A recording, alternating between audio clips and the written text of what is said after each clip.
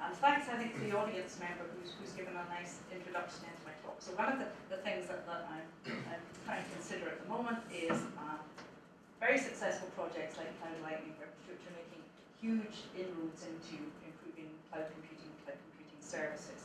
What's the effect going to be on centres like myself, which are which are funded on, on having large supercomputers? How do we work with cloud? How do we develop the, the sorts of the business models that help us deliver in the future? So I'm not going to be able to answer it all, but uh, hopefully this will be an introduction. So as um, I work for Science and Technologies Facilities Council, so it's funded by it's, it's funded by the government in the UK. Um, so there's a Department of Business, Education, Innovation and Skills, which funds all the research, university research in the UK, um, and it also funds infrastructure. So there's a number of research councils, but mine is fairly unique in that it both funds infrastructure and it funds research. So I work at the Hartree Centre, which um, is called, is, is in the north of England, although being Scottish, that doesn't really seem like the north to me. Um, but it, it's located there for a reason. So um, it's the industrial centre, the old industrial centre of England. Um, so, so there's still lots of manufacturing industry, or there remains manufacturing industry, um, chemical industry, engineering. So one of the reasons for funding the Hartree Centre was to look at, at what could be done for industry to revive it um, under the terms of the Northern Powerhouse. I don't know if you've heard of, of the Northern Powerhouse, but the idea is that, that probably like Ireland, most of the economic activity and services are based around London, whereas we need to put more investment into other areas of the country um, to give them a competitive advantage in, in the areas that they're working in. So my particular centre um, has been set up for to do high performance computing high performance data analytics and cognitive technology. So cognitive technology is basically the IBM term for artificial intelligence and machine learning. So we're fairly unique in that, that we've primarily been set up to work with industry, but we also, so we're funded centrally by government, we are capital only from the government, we have to generate our, our own funding um, to pay for all our operations costs. But the idea is if you provide a centre which has all these facilities there, how can you work using capital money with industry um, to generate competitive advantage. Particular centre that we've got is built on a long heritage of high performance computing expertise. So, that, so there was a report in the UK in 2011 which proposed that if the UK wanted to become more competitive, it needed to uh, invest more in software and modelling through high performance computing to support industry. So that was the first, first investment in facilities. The second investment came in 2015, um, which provided us with additional capital money data-centric computing and cognitive computing, and the government um, arranged for IBM to become our partner in that. So we have an embedded IBM research centre, which is based in the same building as the Hartree Centre, and they work with us to give us access to some of the IBM IP. So we work in teams. So we've got scientific computing people, we've got technologists, we have IBM researchers, and we have people from a number of companies that are working with us. Um, so this has enabled us to extend our industrial and scientific reach out to new areas and new industries.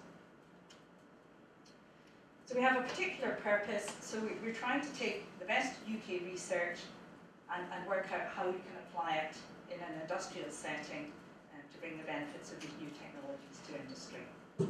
So the idea there is that we can drive economic development, we can give UK industry um, an 18 to 24 month advantage of the, the rest of the world.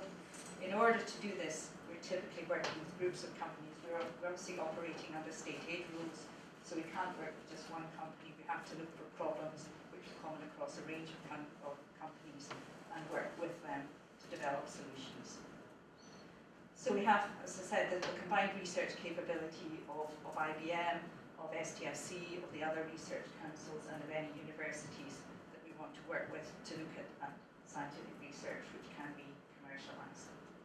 But it's also important for us that we're doing technology transfer and capability to the companies we're working with because the model isn't that they'll continue to work with us forever. We, we help them to set up something and it's up to them um, to to work with other partners or with ourselves to exploit that for a particular benefit for their uh, company. So obviously, again, it's a big investment by the government. We have a responsibility to maximise that investment by using the money wisely and also to support the area around about ourselves in the northwest of England first. Um, obviously, we want to apply things across the whole of the UK, but I think those of you who work with industry will know it's always much easier to work with people who are located fairly close to you, at least to begin with, until you get the ideas um, and the close collaboration working, and then you can extend out to other places. So I say we have a particular mission, that's it, to, a very grandiose mission, to transform UK competitiveness by facilitating and accelerating the adoption of high-performance computing, data-centric computing, and cognitive technologies. So the way that we have to, that we do it um, is very business development focused. It's not about saying, here's a really good um, academic idea. We have, we have a, a team of people who go out and talk to businesses, find out what their problems are, and it's only at that stage we go out and we look for possible uh, scientific solutions that we can work with them. So essentially, most of the work that we do is around development and prototyping, so we can do proof of technology proof of concept, and we're then looking for ways that we can exploit it with other partners later on. So, so to, to summarise it really quickly, we're looking to develop better products faster and cheaper.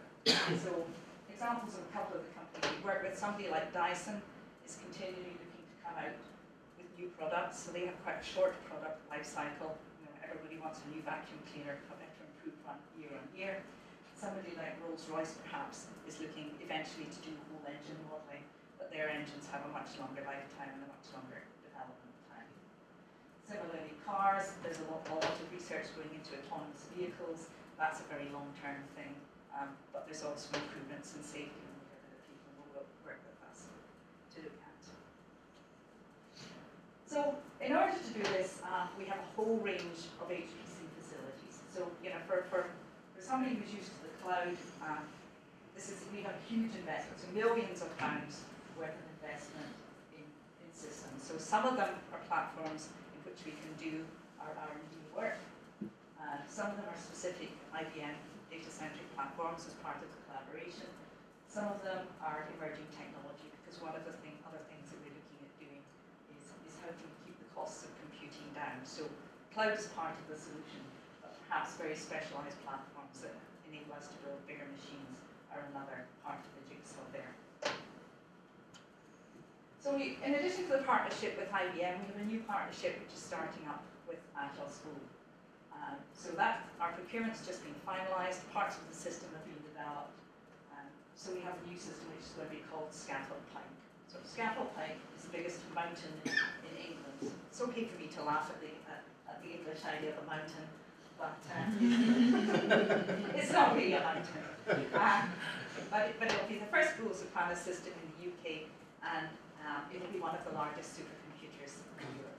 So perhaps not the scale of the big, the big German ones, but it will be the largest, probably in the top 25 in the world, and uh, I think the largest one which will primarily be focused on industrial-led challenges. So this is going in completely the opposite direction, perhaps from cloud computing, but I'm going to try and explain why I think these two are not in competition. Is this based on um, traditional CPU technology? It's half of it's going to be Broadwell and half of it's Knights Landing. So we also, we also have another system coming in which we're running for Oxford University, which is, in, is also Atos Bull, and that's uh, very heavily GPU accelerated. So it's all Intel or Broadwell. Okay, it's Intel. It's Intel, right? Yes. Yeah. So to, try and summarise what we do, um, the, the, this logical innovation framework is, is something that most development takes place in. The two steps that we concentrate on most are the invent and the engineer step. So the invent step is where you look for research done elsewhere, you apply it to a particular problem. The engineer step, you're engineering that into a solution. But we see that commercializing and marketing is perhaps the place where, where Cloud will come in and we'll be looking for partnerships further on. So, just as summary of the sorts of projects you do, you'll, you'll see that we're working in all sorts of different areas that we don't have a particular focus. It's, it's business problems where we think that high performance computing, data analytics, or AI will make a difference, which is practically everywhere at the moment. And if you're interested, you can look on the web. We have a whole range of um, case studies because in our business, one of the very important things is to demonstrate the impact um, because that's what they'll analyze. They don't like just to see to point to the machine. You have to be able to show what you've done with it. So, what do we think our, our unique selling proposition at the heart Hartree is? So, we have this program called the Innovation Return on Research. So, so what we're trying to do is bring together these three different technologies. So, modelling and simulation, the more traditional work that we've done in, and we can work on larger problems through having a bigger computer. High performance data analytics, we can take in data from elsewhere and process it faster. And when we bring in the cognitive aspects of that, we're bringing in machine learning so we can try and do some smarter simulation. But what we're interested in looking at is once we've developed these solutions, can they be delivered via the cloud so we have a much wider uptake? So that's what's at the back of our minds. So we develop on the large systems, but we need to exploit them via cloud. So effectively, this is it. We want to supplement our very highly skilled workforce, use the power of computation, and deliver the economic impact through using these skills. So one, one of the main reasons for involving AI, and I think this will also be relevant for cloud, at the moment a lot of HPC problems use a very large number of cycles because they're applying brute force problems. So one of the thoughts there is if you can reduce the number of calculations that you do through applying some artificial intelligence machine learning, then perhaps you can make you can either work on much bigger problems because you're reducing the number of, of, of unnecessary calculations, or you can perhaps do the problem, scale the problem down and run it more efficiently in the cloud. So one of the things we're experimenting with is cognitive workflows, so that we can try and cut down the number of calculations by, by applying artificial intelligence to some of the first results we get to try and work out what sort of areas um, we should do the next range of calculations in. So again, that, that's a big part of the work that we're trying to do now. So one of my colleagues says that um, he read something in the States that the business plans of, of almost all technology startups are to take some problem and apply artificial intelligence to make it work better. So we're not quite at that stage in the UK, but we are beginning to try and experiment with what we can do there um, with a number of companies to see how artificial intelligence really can be applied. You're using real intelligence. Yeah, it's, um, so, so you probably need one of the scientists then, yeah. One of the scientists to explain it all, but um, I'll, find, I'll give you a bit of an example later on. So one of the, there's, there's a big chemical industry round about the Hartree Centre. So Unilever is based a few miles down the road Sunlight, and they're one of our biggest clients. And of course, there's a whole ecosystem of chemical companies round about them. Um, so one of the areas we're working on is formulation. So it's a very big industry. Apparently, something you know, there's new shampoos, new improved products coming in every year. Um, changes in, in, in regulations, which mean we have to, to worry more about toxicology. We have to worry more about being environmentally friendly. So there's a lot of pressure on coming out with new products, better products every year. Um, and that's apparently a big area of, of uh, business which will continue to grow. And uh, so small improvements in performance can result in, in much bigger sales. So one of the other examples they're looking at is, is transport, um, huge numbers of lorries driving around the UK, big environmental impact. And if a lorry typically can only do eight miles per gallon, if you can increase that just even slightly through improving lubricants to 8.5 miles per gallon, that's a huge reduction in, in fuel costs, environmental impact, and increased profits. So these are the sorts of small things which sound like small changes, but which can really drive um, economic benefits. So one of the projects they're working on um, is to try and integrate data analytics, modelling, and artificial intelligence the benefit of some of the, the chemistry researchers. Um, so one of the requirements was that it had to be something that was easy to use. So, so the chemists um, industrial chemists said things like, well, if we can do a calculation while we have a cup of coffee, set it going from an iPad, that would be absolutely great. But to them, that sort of calculation wasn't something that could be done on a high performance computer.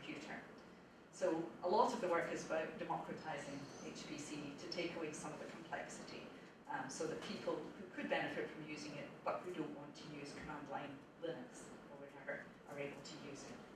So in this example, um, what they've done is, is they've set up a fair, what looks like a very simple program um, where people can um, can mix different ingredients to, to see which ones, to see, look at the different properties of it. It runs from an iPad. Um, it can provide, there's some, there's machine intelligence in there, artificial intelligence. So if you suggest a combination of ingredients and it says, well, you know, Dr. So-and-so tried that last week and it wasn't particularly successful, so I don't think there's any point in you running a similar experiment. It can come back with things like that. Um, it can make, suggest improvements to the sort of um, processes that you're running. It can build on previous knowledge. So, so that's all, that was all, helps the researchers. Um, it uses, as I say, data analytics, machine learning, natural language processing, and cognitive computing.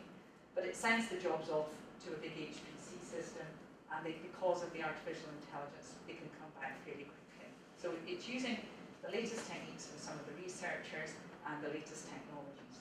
So, uh, so this is work that's ongoing, but it, it seems to be very promising.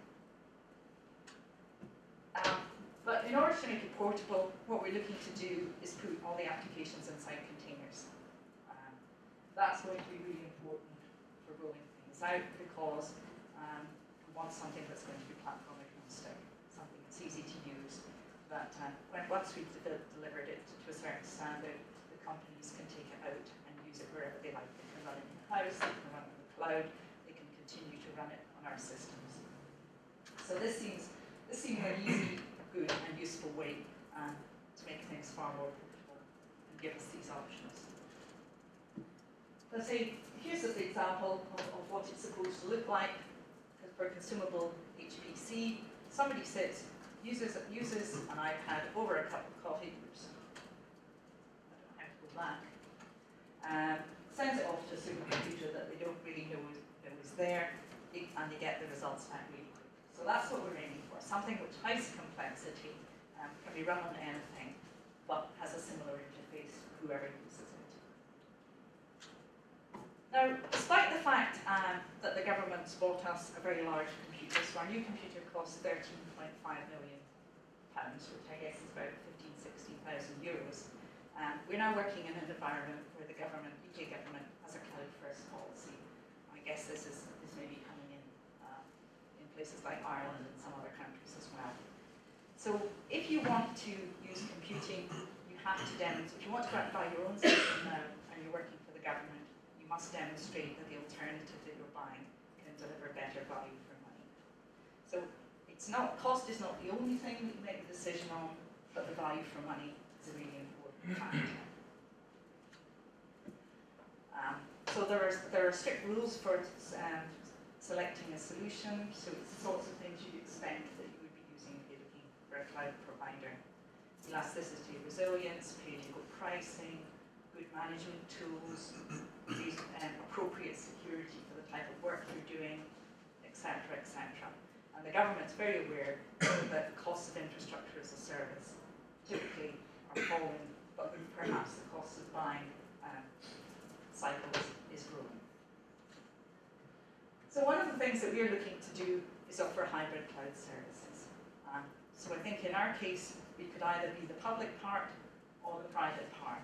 So typically a lot of the companies that we work with want the scalability of cloud, but they want integrity of the data. So they perhaps won't go out to use a public cloud because they don't know where their data is going to be. Whereas if they can use cloud-like services with us, then that's perfectly acceptable. So we're looking at different ways um, that we can offer cloud services on our supercomputers. So I think when we talk to businesses, the sorts of things they're interested in is using our environment to build and test new software. So there's many companies out there who have a system which is adequate for their needs today, but they're looking to develop something which will be more experimental or larger, and they'll run it on a system like ours because they don't necessarily want their competitors to see what they're doing.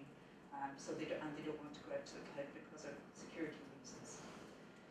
We're also able to offer protected, confidential, and sensitive data in a centre like ourselves, and we can we can do things like real-time data analytics because we have reduced latency. So, from our point of view, there are lots of advantages in thinking about a cloud strategy. So the first, the main one, as as I've said earlier, is to try and lower the barriers to the uptake of HPC. Because our business is not just about driving business and income for the Hartree Centre, it's about delivering the benefits. Because we're publicly funded, it's about delivering the benefits for the UK industry. So democratisation is a really important part of that. So what we're looking to do is to develop something where we build it once, but we can run it anywhere across a range of platforms. But where we perhaps differ from, from a more traditional cloud way of doing things is our strategy is going to be to develop and build to run at scale. So we aim big, we tackle big problems, we want to start develop the solutions that will run on the supercomputers. But we see cloud as being a really important exploitation route and that we'll be able to run the solutions that work for the big systems are capable of being scaled down to run on a range of other systems. And I think you know that inside any organisation, it's not just that you have people who only need supercomputing or only need desktop computing. For most organisations, they need a full range of different things. So we want to provide companies or other users with options which will allow them to make the decisions on where they run the eventual um, the eventual system product based on their particular business requirements or problem requirements. So the particular routes that we have available at the moment is through our, our contacts with IBM and our relationship with them. We have access to the IBM cloud tools, um, which, which mainly the open power, and we'll be pursuing that as part of the strategy. And through the new collaboration with Atos Bull, um, they also have cloud solutions, and we'll be looking to exploit that, particularly in working, providing service for SMEs. And we also are talking to a range of different other vendors and tools providers. So we've talked to Microsoft, Amazon Web Services, all the usual people. We're also being very interested in, in talking to Cloud to see um, what we can learn from them about the way to do things in the future. So, in conclusion, we are a supercomputing centre. We, we will continue, hopefully, to be funded um, at scale for, for new supercomputers, although we are planning for the next four or five years with our new system that's just gone on. So I think our ambition always will be to develop solutions that run at scale uh, for industry. But we see scalability downwards from, from running on the very big systems to smaller systems and perhaps smaller systems in-house or on the cloud as, as being absolutely key to increasing industry uptake of, of the technologies. And for us, our emphasis on portability and usability means that cloud is probably the most viable exploitation route for a lot of our solutions to make them more relevant for all, all different types of industry users and company sizes. So thanks very much, that was all I was going to say. Thank you very much, Alison, for fascinating insight into, into, into your centre. Uh, is there questions from the floor? One question from me again. Yeah, With reference to having containers which will provide a solution to your customers in a flexible way, how do you outweigh the cost of licensing that from Docker, for example, the solution which will come from a container? I know that, I probably can't answer your question as well as some of the tech, tech people. I know that they're looking at a range of different options. Um, but the view probably is that Docker is the one which, at least at the moment, has the biggest uptake and understanding of across the costly, issue. yeah. Yeah, um, so I know the guys are also looking at, at some other ones, but I think, you know, I, I think it's always going to be a balance between um, the one that people are more familiar with and has the name with perhaps something else which is more difficult to maintain. But yes, I think, I think in general, um, licensing issues are something that you have to think about when you're Sure. working with industry. Um, you know that a lot of ISV packages as well, you have to think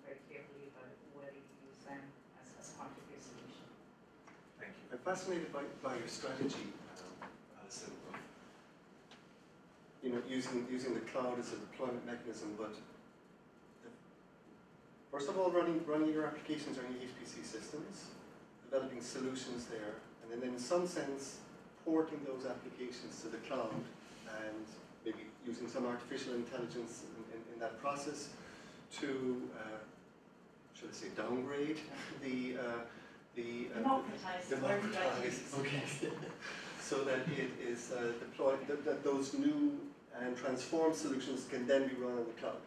That's, that, that's, that's, that's sort of a very interesting uh, direction, I'd say, unique direction, I would I don't know if it will work. Yeah. No, it's, because, I, but, but, you know, so, so what we're trying to do, because we're really in the centre of our time, Yeah. I think we have to think in an imaginative way. We've got a very clear mission, which is to support Yeah. Government money. And to me, that seems like an interesting way to Sure. think about it, an Sure. interesting route to explore.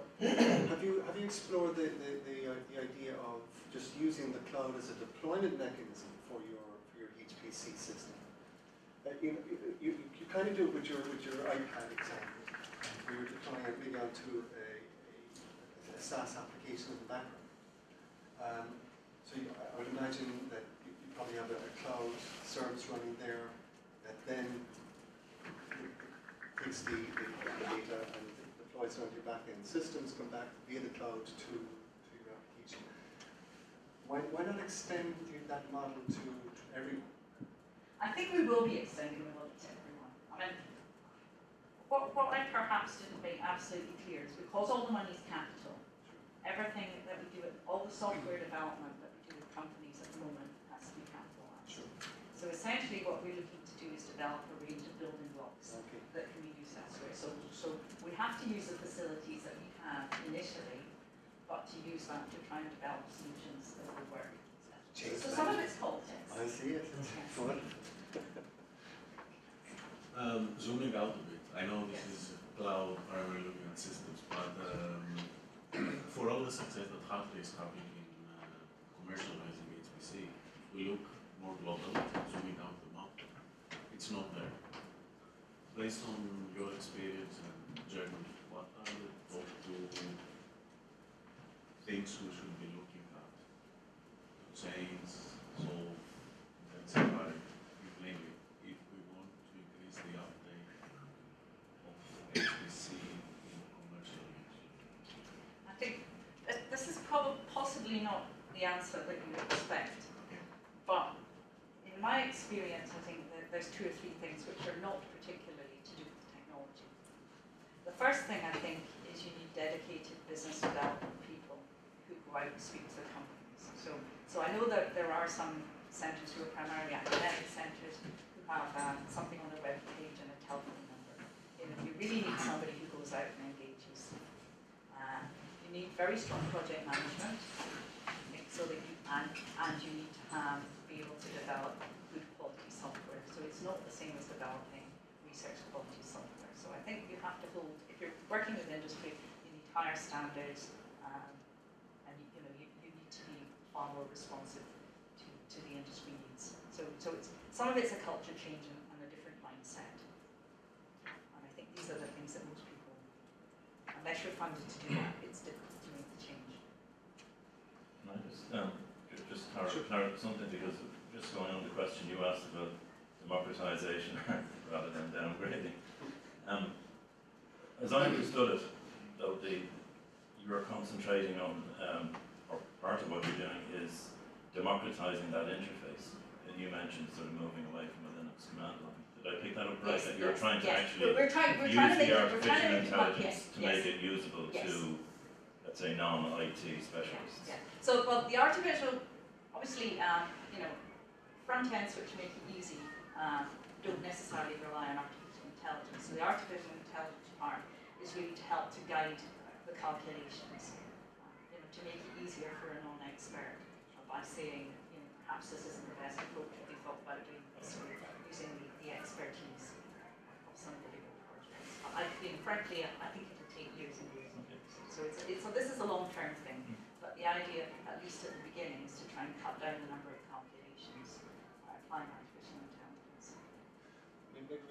continue the conversation coffee. So please join me in thanking Alison.